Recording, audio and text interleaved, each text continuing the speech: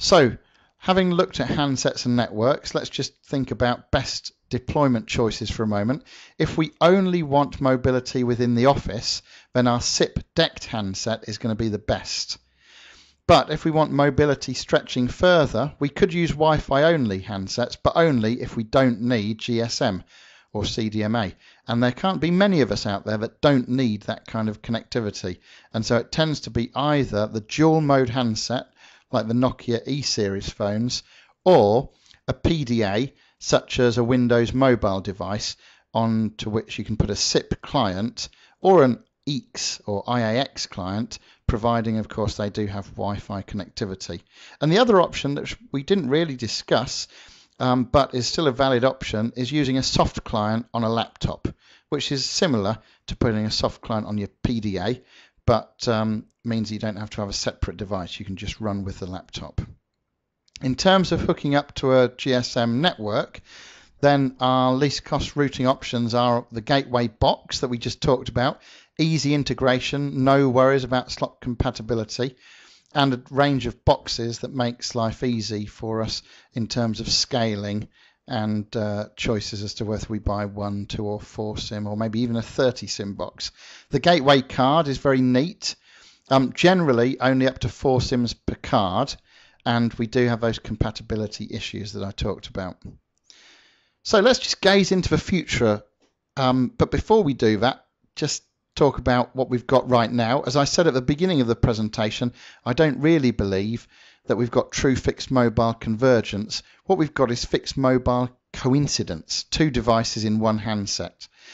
We do have battery life issues on current dual mode handsets, and even after optimizations to make some of that stuff better, from a user experience point of view, it still feels like two separate devices in the same box. Um, voice over 3G is going to make things very interesting, and I've already tried that very successfully, but only, of course, in city centre locations. When you get out into the countryside, 3G coverage drops off, and of course, that makes it um, a useless option when you're out in those rural locations. Now, looking to the future, we've got these things called femtocells that you may have heard of. And femtocells are like a mini cell tower in your office or home, and they use your existing broadband connection to connect back to the mobile network. Um, and your GSM or CDMA handset or, or whatever hooks up to that. So, for instance, as you walk into your house or office, your GSM handset would roam off the main network, which is sometimes called the macro network, and onto this femtocell, giving you perfect in-building coverage. It's a VoIP device, but currently closed by the mobile network operators. What would be great is to see them open it up and then run something like embedded Asterisk on it so that we can have the PBX in that device as well.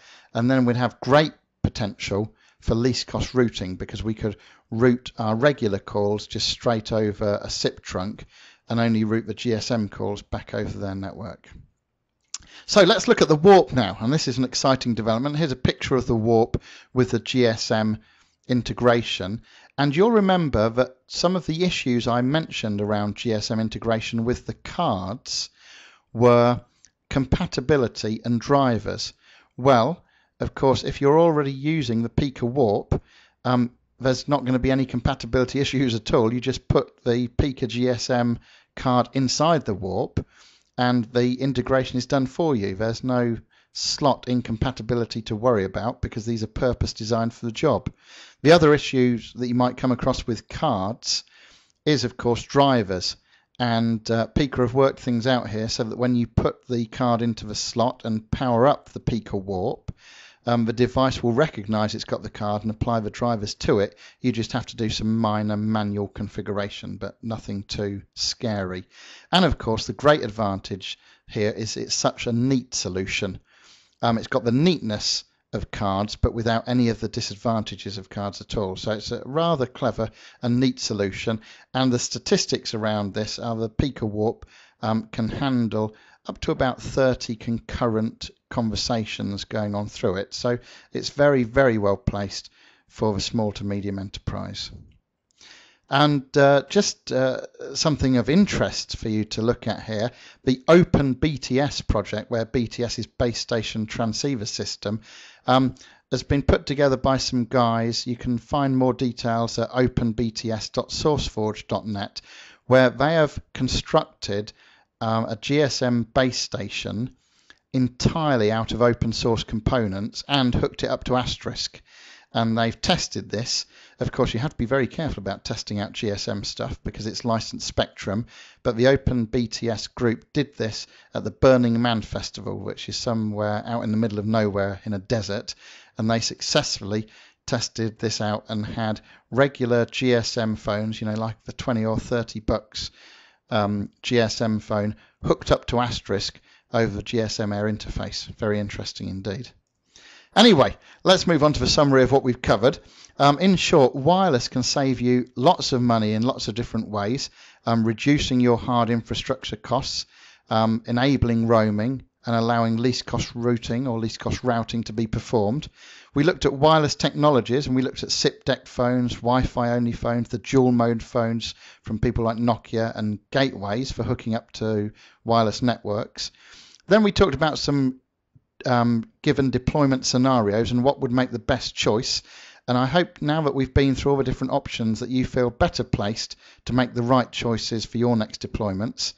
And when we talked about what was coming next for VoIP and wireless, we examined the femtocells and we just need the mobile network operators to be a bit more open and we need to have those femtocells with something like embedded Asterisk integrated there so we can do least cost routing with them.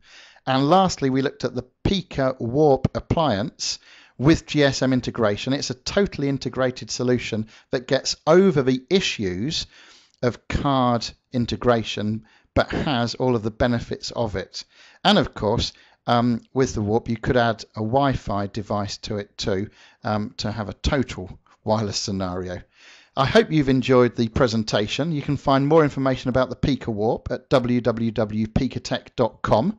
Um, if you're interested in Asterisk consultancy and training, please visit asterisk-training.co.uk or the Telespeak homepage at www.telespeak.co.uk. I've enjoyed giving this presentation to you. I hope you found it useful. And if you'd like to get in contact with me, you can do so by emailing me at david.duffett at telespeak.co.uk. Thank you very much for attending this presentation, and I wish you every success with your IP and wireless deployments.